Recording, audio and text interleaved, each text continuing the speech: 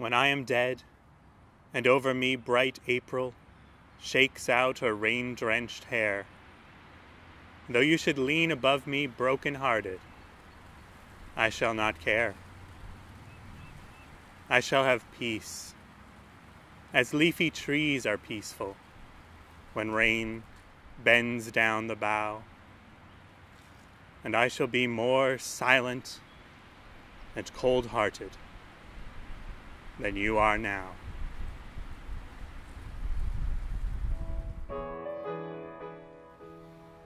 Hi everyone, thanks for watching Graveyard Poetry. If you've enjoyed this video, please like and subscribe. And join us next week for another classic poem. See you then.